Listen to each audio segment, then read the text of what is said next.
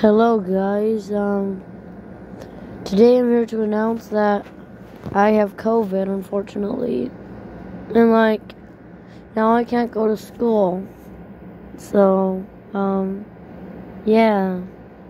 I apologize for the low camera quality, but I don't feel so well. Like I have COVID, and like I don't know. I just got a COVID test, and it's so far it's, it's in the middle between the negative and the positive. So I don't know. I might get retested tomorrow, but well, I don't like this. I don't like having COVID.